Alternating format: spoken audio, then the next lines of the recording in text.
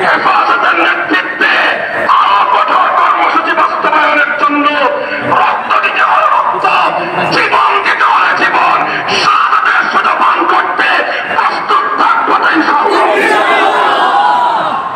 সঙ্গে কূটনৈতিক সম্পর্ক ছিন্ন করা।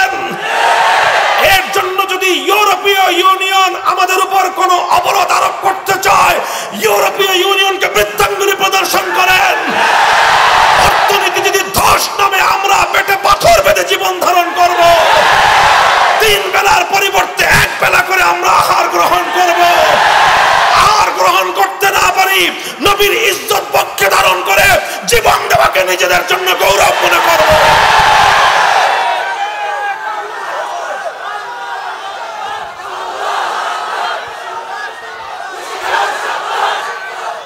আল্লাহ পাক রব্বুল আলামিন আপনাদের এই আগ্রহ প্রেরণাকে কবুল করেন।